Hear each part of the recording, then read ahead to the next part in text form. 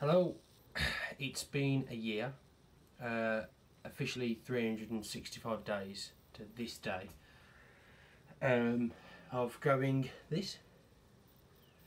Um, it's been it's been a good journey, enjoyed it, um, got stressed with it. Sorry, it's still a bit wet. I've just got out of the shower, but um, yeah, I think I'm gonna keep going. Just because I, I, I quite enjoy it. Um, if I do a length check actually for you, if you remember, it, it came to about here on my first video a year ago. Um, and now it comes there. So I think within the next few more months it will get um, a little bit longer hopefully. Um, but yeah um, if anybody else is thinking of obviously going for a hair journey um, I definitely recommend it.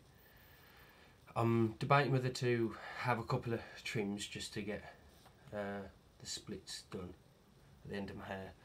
But other than that I'm I'm kind of enjoying it now. It's it's like becoming part of me. um, but it, it takes a lot of patience, I suppose. It's took me a full year to um, to get to this length, which was a, and then I, I think I started it was about that that long on on the top, and then really short on the sides. But uh, yeah, um, yeah, I'm enjoying it. It's good. It's it's different as well because the more people say to you, "Oh, you need your hair cut and you need your hair cut," and you're like, "I'm not going to get my hair cut," because before they say it, you're actually thinking to yourself, "I'm going to get my hair cut. I'm going to get my hair cut," but no, um, I ain't getting it cut yet. Not a chance. Um, probably, I say not getting it cut. I'm probably just not going to cut it all off. Um, it's getting to the point now where I can pretty much put it back so I can have it like half up, um, half down. But yeah, I do enjoy it.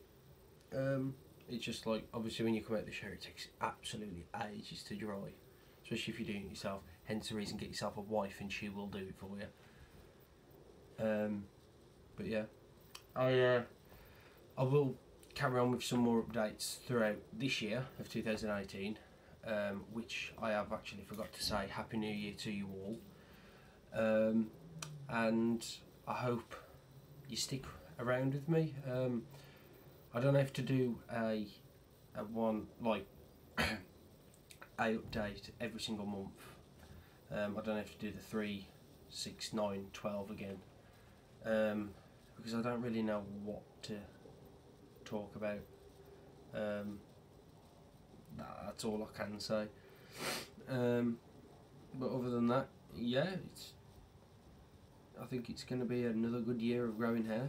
Um, this will be probably even more challenging because my hair's longer, and when the summer comes in, it's going to be a bit more extreme on myself because last year I was absolutely dying, but I think that was just because I wasn't used to having longer hair. Um, but yeah, it's been a crazy journey.